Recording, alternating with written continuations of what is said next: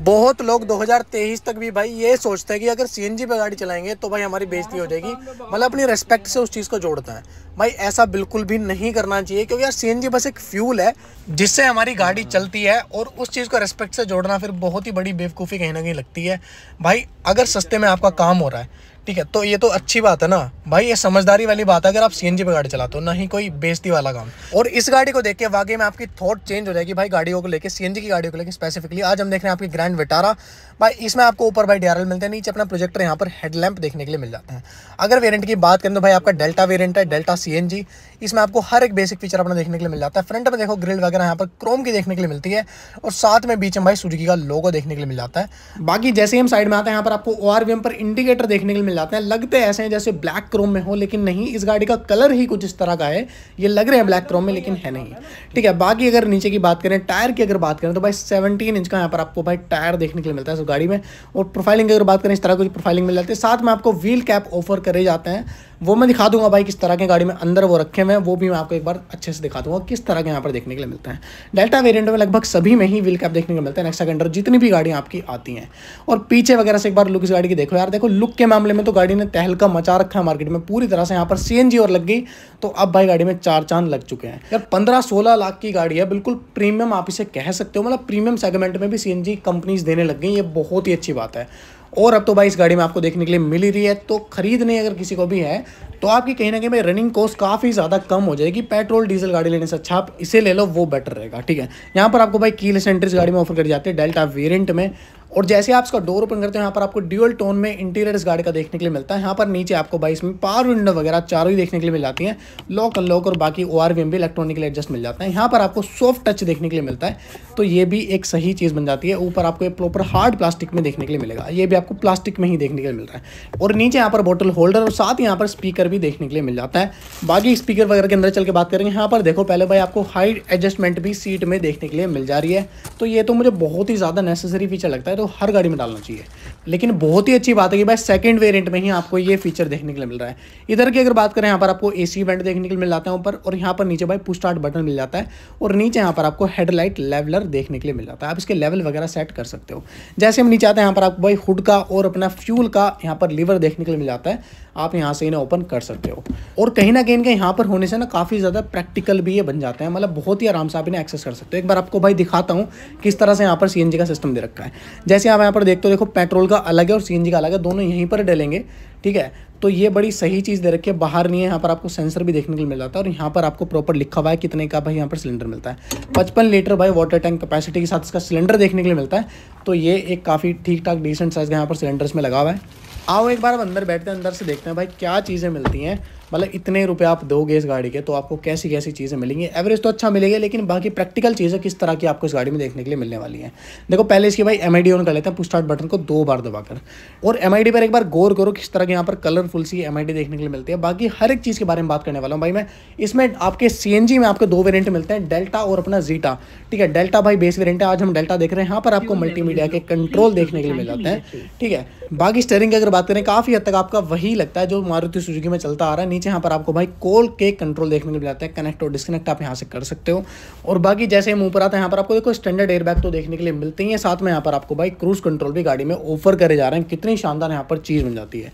अगर एम आई यहाँ पर डिटेल में बात करें तो भाई आपको डिजिटल एम नहीं मिलती। बस बीच में छोटा सा पार्ट यहाँ पर डिजिटल में मिलता है, बाकी आपका आरपीएम मीटर स्पीडोमीटर अलग अलग देखने के लिए मिल जाता है डिजिटल नहीं मिलते। ठीक है? तो ये एक शानदार चीज़ है। देखो सीएनजी वगैरह कितनी यहाँ पर बची है, सब चीज़ आपको दिखाएगा।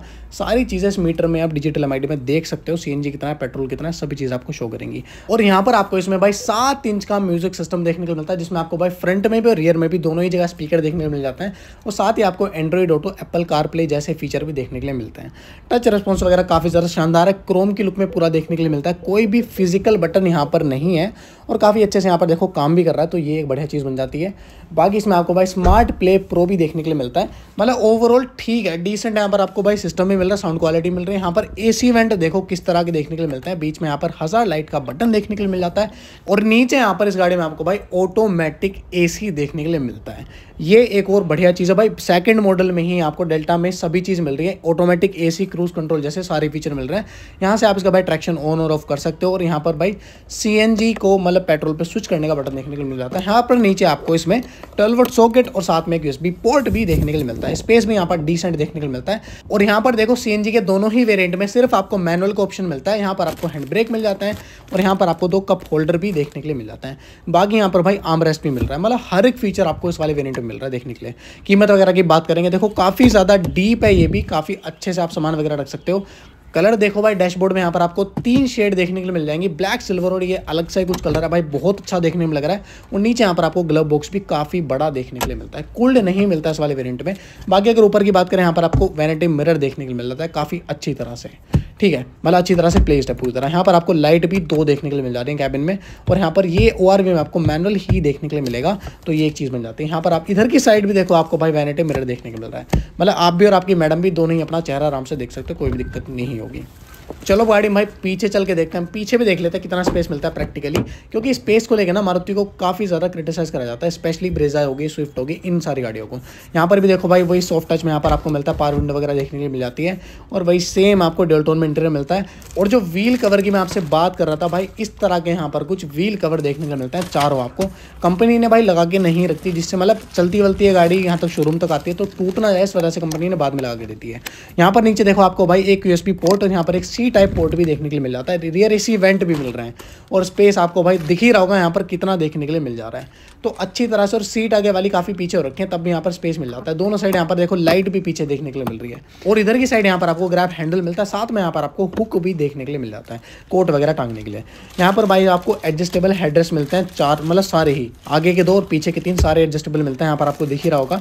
और बाकी बीच में यहाँ पर आपको भाई आर्म रेस्ट भी ऑफ़र करा जा रहा है। यहाँ ऊपर इसमें एक हुक्सा मिलता है, उसे आप हटा के इसे खोल सकते हो नीचे की साइड को, ठीक है? और जैसे देखो यहाँ पर आपको दिख रहा होगा भाई, दो इसमें कप होल्डर भी देखने के लिए मिल रहे हैं। और जो हुक की मैं बात कर रहा था, वो इस तरह का ये कुछ हुक यहाँ पर देखने के लिए मिलता है। ऊपर अटक जाता है तो वो खुलता नहीं है। मतलब गिरेगा नहीं बिल्कुल भी, वैसे भी नहीं गिरता, लेकिन इन्होंने बढ़िया एक चीज़ कर दी। और बाकी देखो, जैसे हम है, यहाँ पर आपको भाई इसमें क्वार्टर ग्लास मिल जाता है, काफ़ी बड़ा साइज़ का, और यहाँ पर आपको सिल्वर सी फिनिश देखने के लिए मिल जाती है। बाकी पीछे से तो कुछ लोग बोल रहे हैं कि भाई रेंज रोवर जैसी लुक है। यहाँ पर देखो, ऊपर आपको भाई शार्क फिन एंटेना भी गाड़ी में ऑफ़र करा जा रहा है। पीछे आपको भाई वाइपर नहीं मिलता, लेकिन डिफोगर वगैरह सभी चीज़ मिल जाती है। यार, एक सवाल है, आप सभी से कॉमेंट सेक्शन में ज़रूर बताना कि इसकी लुक सही में रेंज रोवर जैसी लगती है, पीछे से या नहीं। लाइट वगैरह देख लो भाई, यहाँ पर आपको एलईडी टेल लाइट देखने के लिए मिलता है। बीच में सुजुकी का लोगो देखने के लिए मिल जाता है, और ग्रैंड विटारा यहाँ पर आपको अच्छा बड़ा सा लिखा हुआ मिल जाता है। और जैसे में इसका बूट स्पेस ओपन करते हैं मतलब बूट ओपन करते हैं तो असली बात तो देखो बूट में इसके रास्ते पड़ा है। भाई, कितनी अच्छी यहाँ पर फिट एंड फिनिश देखने के लिए मिलता है। इधर की साइड आपको भाई ट्वेल्व वोट सॉकेट मिल रहा है बूट में और यहाँ पर एक लैम्प भी देखने के लिए मिल जा रहा है। इधर की साइड आपको एक हुक मिल जाता है। बाकी असली चीज़ यहाँ पर है भाई, बहुत ही अच्छी तरह से हाइड कर रखी है सी क्योंकि बूट स्पेस काफ़ी ज़्यादा बड़ा है ऑलरेडी गाड़ी का और यहाँ पर दिखती भी नहीं है भाई। बड़ी गाड़ी में सी का भाई यही फ़ायदा है कि आपको बूट स्पेस भी मिल जाता है, जो कि आपको छोटी गाड़ी में कहीं ना कहीं आपको कॉम्प्रोमाइज़ करना पड़ता है।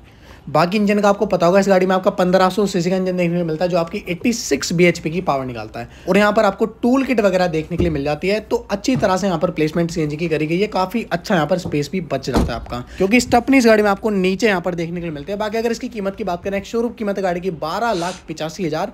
और यहाँ पर आपको भाई सी वगैरह देखने के लिए मिले तो बहुत ही अच्छी बात बन जाती है। अगर ऑन रोड कीमत की बात करें तो भाई पंद्रह लाख के अंदर अंदर आपको गाड़ी पड़ जाएगी।